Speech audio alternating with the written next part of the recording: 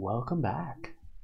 Last video we talked about qubits and how we think about them as a new type of information as opposed to the bits that we use in digital logic.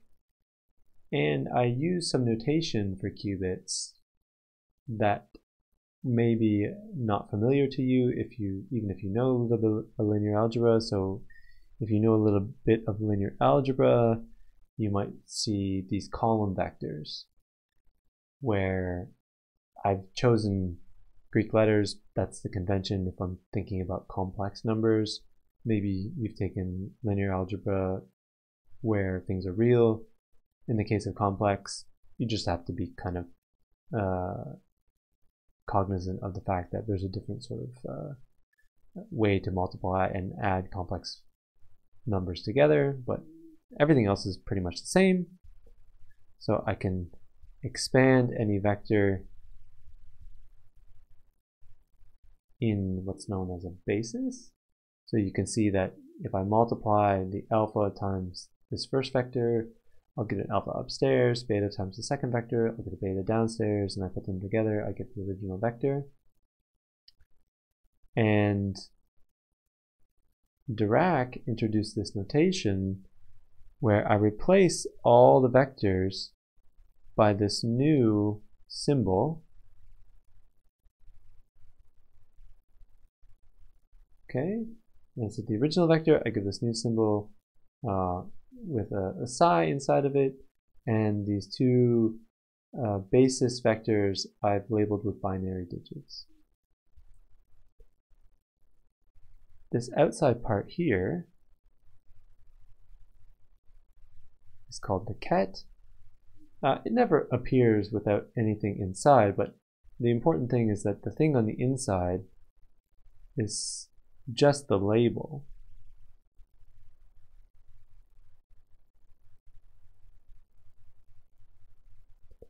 So in the case of bits in classical computation, we had a label for a bit as well, which is just this b. We use this extra notation uh, you know, not because we're eccentric, but be, because it, it, it allows easier computation by hand. So you can already see that uh, even though we're just using two-dimensional vectors, later we're going to consider exponentially large vectors, there's a huge compression in the amount of things that we have to write. So I've, I've simplified quite a bit by not having to write these potentially long column vectors. And it also allows us to easily distinguish between the, the vectors and the coefficients in front of them.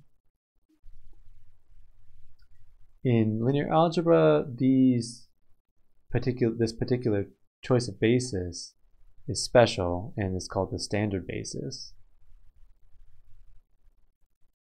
Standard basis and it, we've chosen this basis to be the one where we inside of these kets we've given the symbols 0 and 1 so you can see that uh, the label of the basis is a, a bit of information. So that set that basis where we label it with a bit of information is called the computational basis. So standard basis, same as computational basis. And whenever we do any calculations, by and large, we're going to do them in this computational basis. If we have some vector, which can be written as a linear combination, in this particular basis, then that's called a superposition.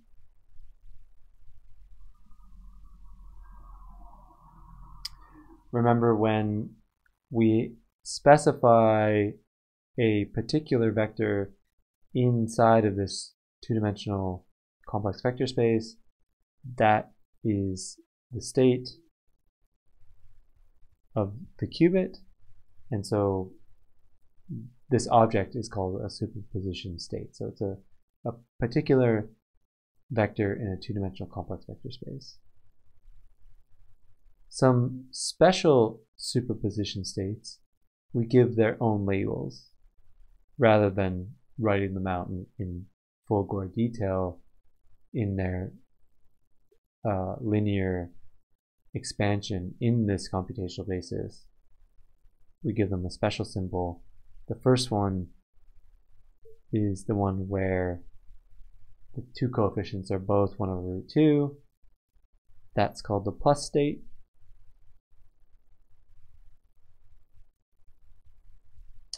And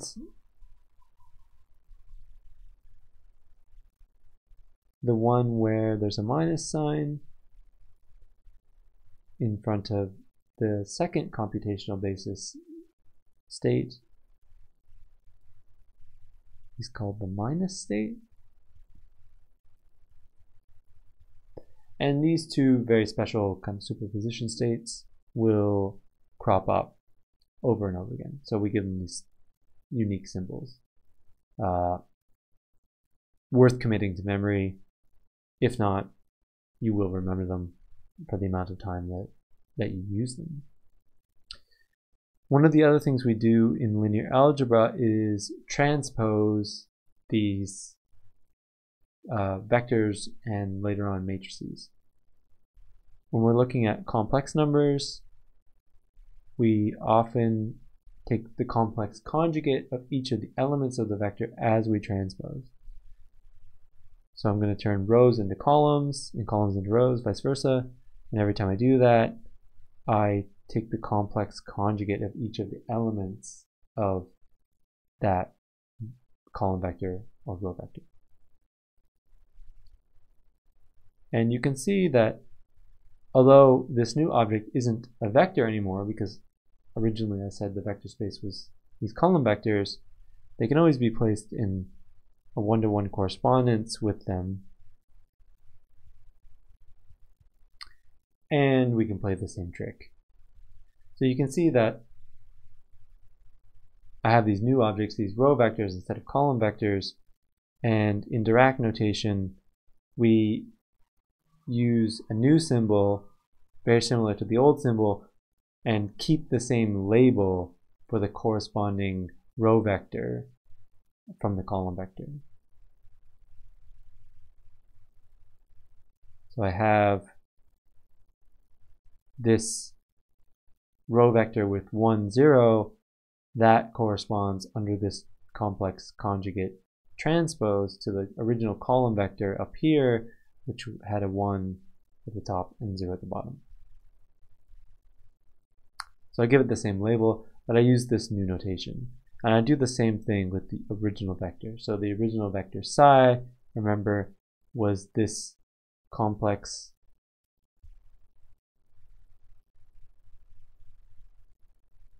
two-dimensional column vector.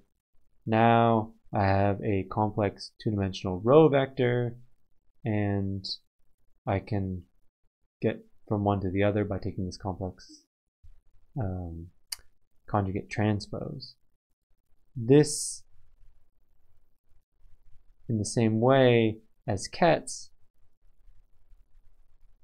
has its own name, so the outer kind of uh, symbols in this for this object is called a bra, and again, the thing inside is a label, and the label comes from the original.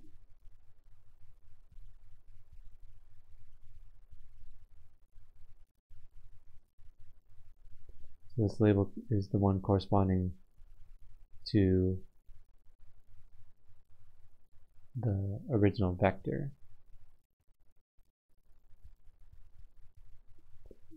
Okay, so that's what that label is.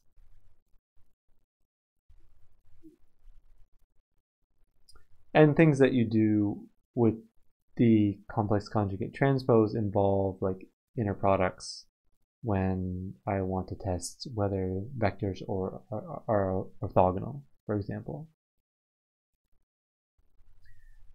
So let me give you an example of how we can do a calculation that is natural in linear algebra, but with Dirac notation. So in Dirac notation, uh, uh, well, first of all, in usual everyday linear algebra, I would calculate the norm of a vector the norm of a vector by taking one copy of the vector complex conjugate transpose times the original vector. In Dirac notation, I replace those two objects with their corresponding bras and kets. Uh, when I put a bra and a ket together, I get a bracket. So that's where the uh, terminology bracket notation comes from. So I can take this bracket. So I'm going to take uh, this definition here and this definition here and I'm going to just put them together, multiply them together. So I have alpha conjugate, beta conjugate. Oh. Don't let me forget my bras and kets. That's the psi bra.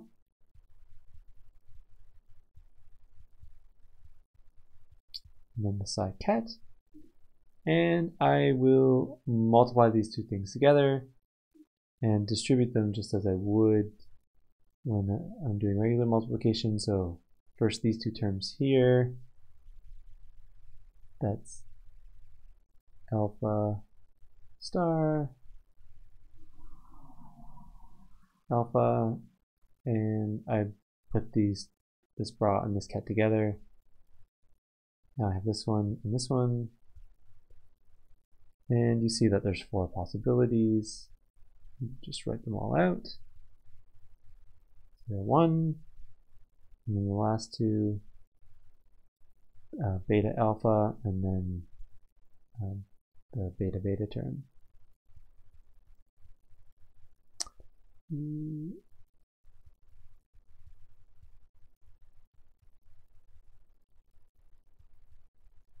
Okay,